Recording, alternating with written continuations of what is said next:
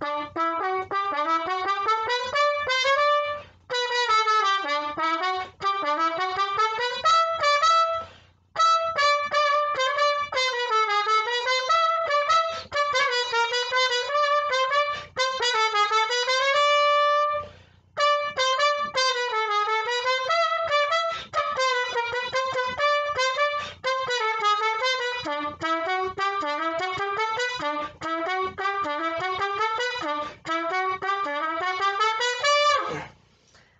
Hola, ¿qué tal? Les saluda Rogelio.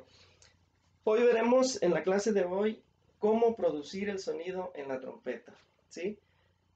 De hecho, quise hablar de este tema el día de hoy porque en las clases normales todo el tiempo me preguntan cómo se produce, cómo sale el sonido, ¿no? Muchos que quieren estudiar trompeta, que les llama la atención la trompeta, dicen, ah, pues está fácil, ¿no? O sea, solamente son tres valvulitas y órale, vamos a soplar, ¿no? Y, se encuentran con esto.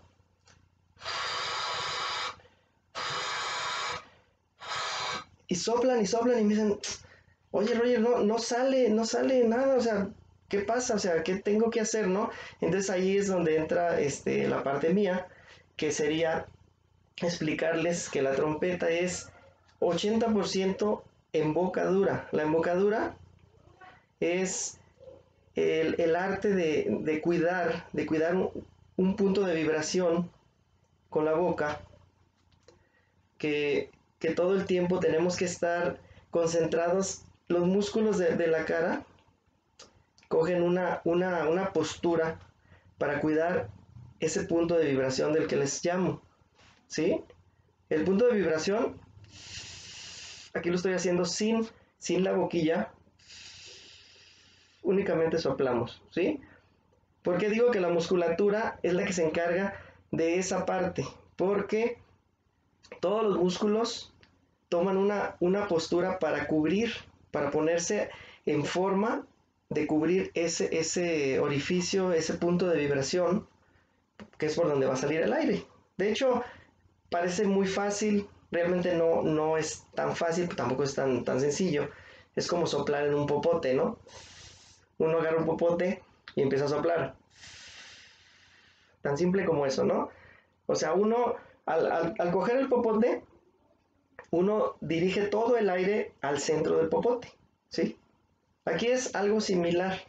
La diferencia que el popote, el popote es como si fuera mi dedo, yo me lo pongo en los labios y soplo, obviamente el popote está hueco, entonces si mi dedo fuera un popote, yo soplaría perdón, este, por el medio del popote y el aire se iría por ahí, ¿no?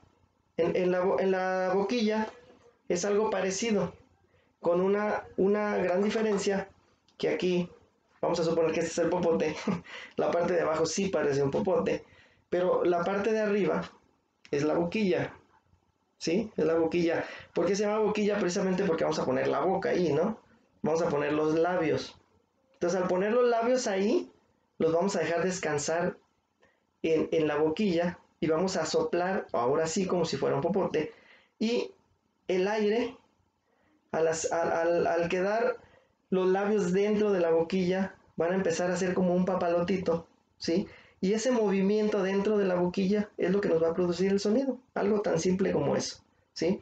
Lo voy a hacer ahorita, este, primero con la boquilla y ya después con, con la trompeta.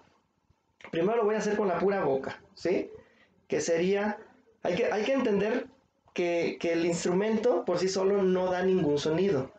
El instrumento venimos a hacer nosotros, ¿sí? Como, como decir el canto, en el canto también el, el, sonido o el instrumento del cantante pues es su mismo cuerpo, su misma garganta, ¿no? En el caso de los trompetistas, el sonido somos nosotros mismos, ¿sí? A través del instrumento. Digamos que, es, que este sería el micrófono, ¿sí?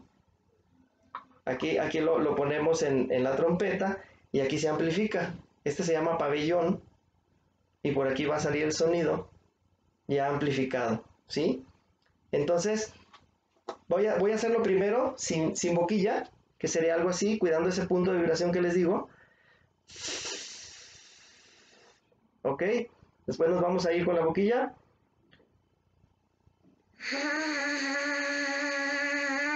Ese sonido como de abejita, ¿sí? Es lo que se va a producir aquí en la trompeta y lo que nos va a dar el sonido de la trompeta. Escuchen esto.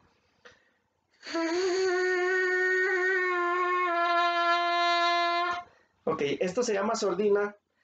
Se lo puse a propósito para tocar la melodía y que escucharan un sonido no tan fuerte. Ahorita lo voy a volver a hacer ya sin, sin, sin la sordina. Sería...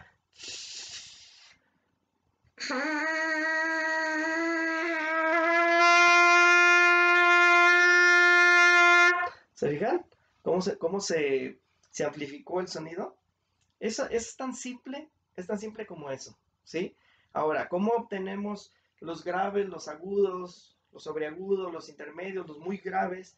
Este, con la flexibilidad de los labios, ¿sí? Los labios no deben de estar tensos, ¿sí? Se debe de lograr tocar las notas graves, las notas intermedias y las notas agudas con, con una flexibilidad, ¿sí? Una vez que ponemos los labios en la boquilla, tiene que haber una flexibilidad para poder sacar ese sonido. Y es como se produce el sonido. Obviamente cada nota requiere de diferente presión y si yo quiero una nota más aguda, hago más presión, cierro más el punto de vibración. Si quiero una nota más grave, relajo más. Por, lógica, el punto de vibración se hace más grande. esto debe ser natural. no tenemos que tener ningún problema ni para subir ni para bajar. Y voy a hacer un ejemplo ya para terminar con, con esta clase de cómo producir el sonido en la trompeta. Escuchen esto, ¿eh? Voy a hacer un sonido grave.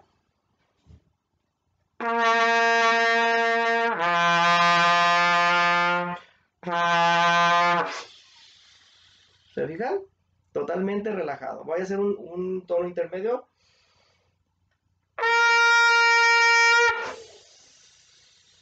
Un poco más cerrado, ¿sí? Lo que les digo, ese punto de vibración, imagínenselo, es como un orificio que, se va cerrando, se va abriendo dependiendo la nota que ocupamos producir, si es grave, intermedia o aguda. Voy a hacer una nota aguda.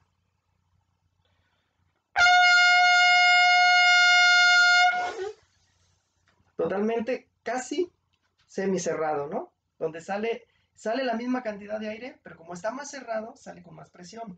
Entonces eso hace que las notas se vayan a lo agudo, ¿sí? Obviamente para tener un equilibrio y un control de esto, pues requiere de, un control y de, de, practicar, solamente practicar graves y agudos. Y con esto termino. Escuchen esto, voy a, voy a hacer varios, varios brincos desde grave a agudo.